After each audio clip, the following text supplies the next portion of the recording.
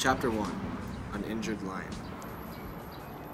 I am a very loving person, and I care about my family and friends more than anything in this world.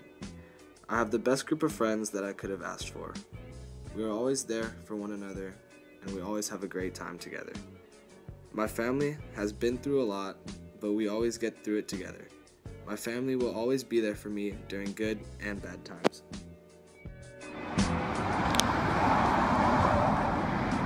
Chapter 4 Parent Lottery In 1951, my grandparents immigrated from Germany to Ellis Island. I am proud and thankful for them coming to America to start a new life. I am also proud of my parents for all the hard work that they do to take care of me. My parents are very supportive, caring, and I am lucky to have them as my parents. Chapter 7 Never Made It to the NFL.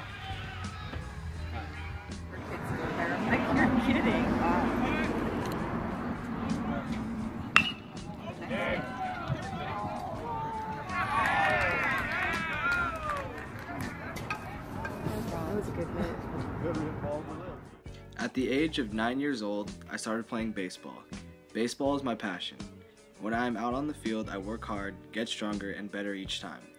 To be a professional baseball player would be a dream come true. Chapter 11 The Happiest Place on Earth. A lot of places make me happy, but the happiest place I have ever been was up in Manchester Beach. My family and I went on a camping trip. I think I remember this the most because we had so much fun as a family. I remember the ocean water was so blue, and one day I'll go back there. Chapter 21 J. There are a lot of people who influence me and I look up to, but the most influential person in my life is my mom. My mom has always been by my side since I was born. She has never let me down. My mom supports me, has taught me to be a kind person, and to work hard. There are times that we fight, but in the end, we love each other. I know my mom will always be there for me. I always want to just make her proud. Chapter 24 Recovering Jerk.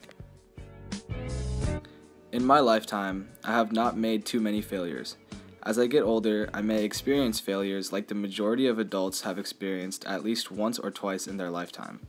I believe that you cannot get through life without some type of failure. You can only learn something by mistakes. As for mistakes, I know that I have made a few, but the majority of them were senseless little mistakes.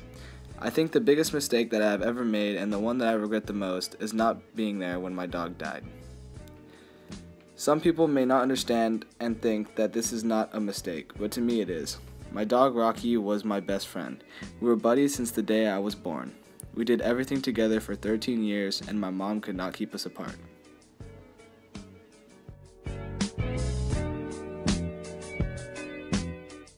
My parents have taught me to do the best I can and to never give up. I have been lucky to have had positive coaches and teachers.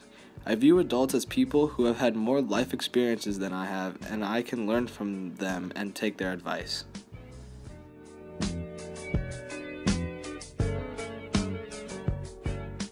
I look at my future in a good way, not negative. I am responsible for my future. I want to graduate high school and attend college to get a good career. I am a positive person and am grateful for my family and friends.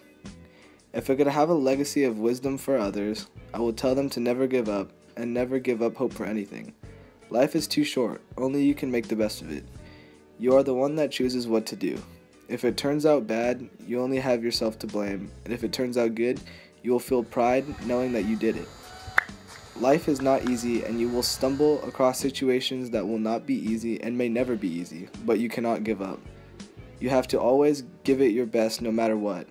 Try to be as kind to others and never judge somebody without knowing their situation. That somebody one day might be your inspiration and motivation for your future.